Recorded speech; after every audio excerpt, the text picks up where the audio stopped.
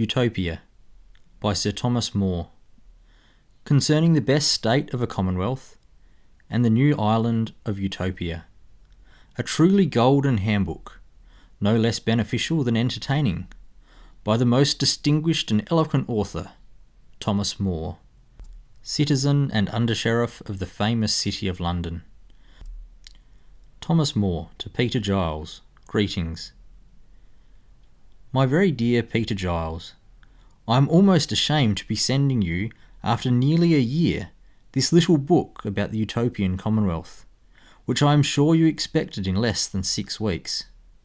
For, as you are well aware, I faced no problem in finding my materials, and had no reason to ponder the arrangement of them.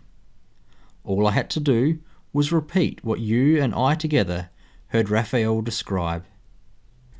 There was no occasion either for labour over the style, since what he said, being extempore and informal, couldn't be couched in fancy terms.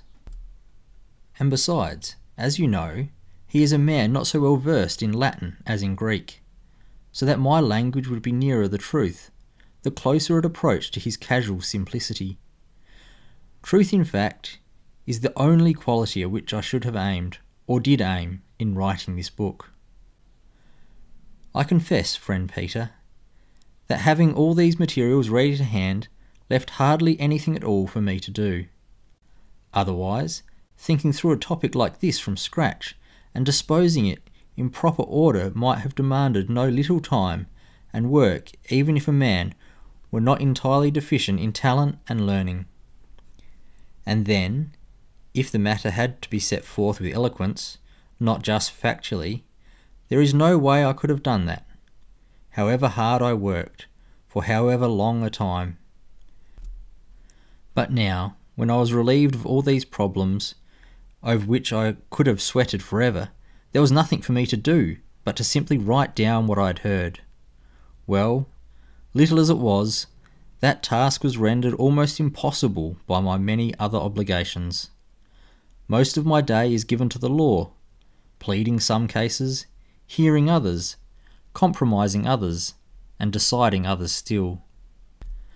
I have to visit this man because of his official position, and that man because of his business, and almost the whole day is devoted to other people's business, and the rest to my own, and then for myself, that is, my studies, there's nothing left. For when I get home, I have to talk with my wife, chatter with my children, and consult with the servants. All these matters I consider part of my business, since they have to be done, unless a man wants to be a stranger in his own house. Besides, you are bound to bear yourself as agreeably as you can towards those whom nature, or chance, or your own choice has made companions for your life. But of course, you mustn't spoil them with your familiarity, or by overindulgence turn the servants into your masters, and so Amid these concerns, the day, the month, and the year slip away. What time do I find to write then? Especially since I still take no account of sleeping or even of eating, to which many people devote as much time to as sleep itself, which consumes almost half of our lives. My own time is only what I steal from sleeping and eating. It isn't very much, but it is something. And so I've finally been able to finish Utopia even though belatedly, and I'm sending it to you now. I hope, my dear Peter, that you'll read it over and let me know if you find anything that I've overlooked, though I'm not really afraid of having forgotten anything important. I wish my judgment and learning were up to my memory, which isn't half bad. Still, I don't feel so sure of it as I would swear I've missed nothing. For my servant John Clement has raised a great doubt in my mind. As you know, he was there with us, for I always want him to be present at conversation where there's profit to be gained. And one of these days I expect we'll get a fine crop of learning from this young sprout, who's already made excellent progress in Greek as well as Latin. Anyhow, as I recall matters, Hythloday said the bridge over the Anyder at Amaurot was 500 yards long, but my John says that it's 200 yards too much, that in fact the river is not more than 300 yards wide there. So I beg you, consult your memory. If your recollection agrees with his, I'll yield to the two of you, and confess myself mistaken. But if you don't recall the point, I'll follow my own memory and keep my present figure. For as I've taken particular pains to avoid having anything false in this book, so if anything is in doubt, I'd rather say something untrue than tell a lie. In short, I'd rather be honest than clever. But the whole matter can easily be cleared up if you ask Raphael about it, either face to face or else by letter. And I'm afraid you must do this anyway, because of another problem that has cropped up. Whether through my fault or yours or Raphael's, I'm not sure. For it didn't occur to us to ask, nor to him to say, in what area of the New World Utopia is to be found. I wouldn't have missed hearing about this for a sizable sum of money, for I'm quite ashamed not to even know the name of the ocean where this island lies, about which I have written so much. Besides, there are various people here, and one in particular, a devout man and a professor of theology, who very much wants to go to Utopia. His motive is not by any means idle curiosity, a hankering after new sights, but rather a desire to foster and further the growth of our religion which has made such a happy start there. To do this properly, he has decided to arrange to be sent there by the Pope, and even to be named Bishop of the Utopians. He feels no particular scruples about applying for this post, for he considers it a holy ambition, arising not from motives of glory or gain, but simply from religious zeal. Therefore, I beg you, my dear Peter, to get in touch with Hythloday, in person if you can, or by letter if he's gone, and make sure that my work contains nothing false and omits nothing true. It would probably be just as well to show him the book itself. If I've made a mistake, there's nobody better qualified to correct me. But even he cannot do it unless he reads over my book. Besides, you'll be able to discover in this way whether he's pleased or annoyed that I've written the book. If he has decided to write out his own story himself, he may not want me to do so. And I should be sorry too if, in publicising the Utopian Commonwealth, I had robbed him and his story of the flower of novelty. But to tell the truth, I'm still of two minds as to whether I should publish this book at all.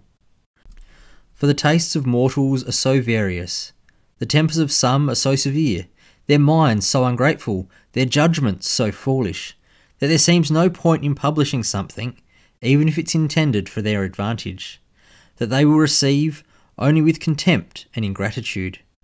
Better simply to follow one's own natural inclinations, lead a merry life, and ignore the vexing problems of publication. Most people know nothing of learning, many despise it. The clod rejects as too difficult whatever isn't cloddish. The pedant dismisses as mere trifling anything that isn't stuffed with obsolete words. Some readers approve only of ancient authors. Many men like only their own writing. He is a man so solemn he wouldn't allow a shadow of levity, and there's one so insipid of taste that he can't endure the salt of a little wit. Some dullards dread satire, as a man bitten by a rabid dog dreads water. Some are so changeable that they like one thing when they're seated and another when they're standing. These people lounge around the taverns, and as they swill their ale, pass judgment on the intelligence of writers. With complete assurance, they condemn every author by his writings, just as they think best, plucking each one, as it were, by the beard. But they themselves remain safe, and, as the proverb has it, out of harm's way. No use trying to lay hold of them, they're shaved so close there's not as much hair on their head to catch them by.